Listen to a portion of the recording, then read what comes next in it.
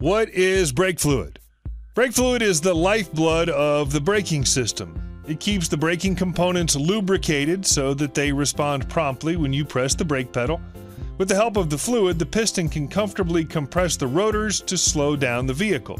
If there is no brake fluid or if it's in poor shape, then the braking system will not function smoothly as you're driving.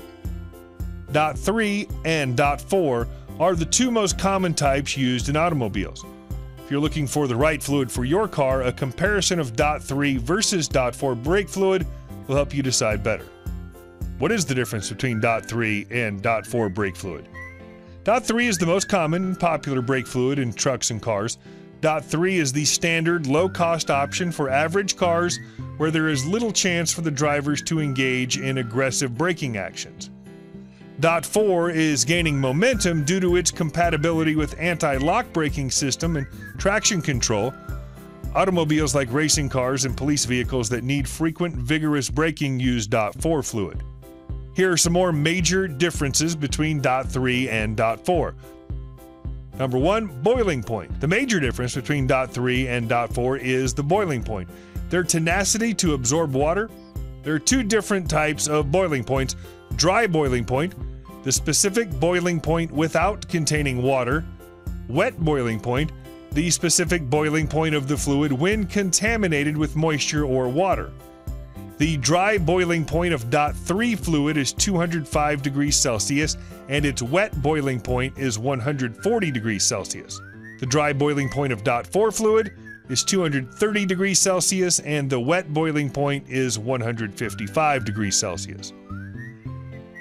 The Dot 4 has a higher boiling point for both dry and wet points. This means it can withstand more heat before it starts to break down, making it better for high performance vehicles or when braking under extreme conditions. 2. The chemical structure. Dot 3 has a blend of ether and polyalkylene glycol.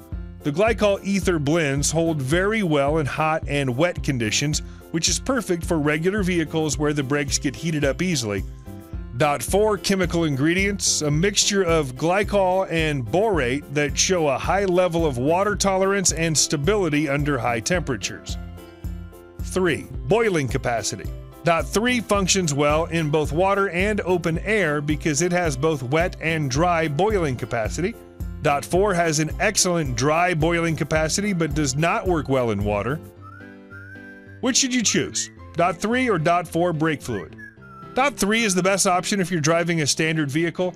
However, if it's a racing car or you like rough driving, Dot 4 will take better care of the braking components. For more information, go to amtecol.com.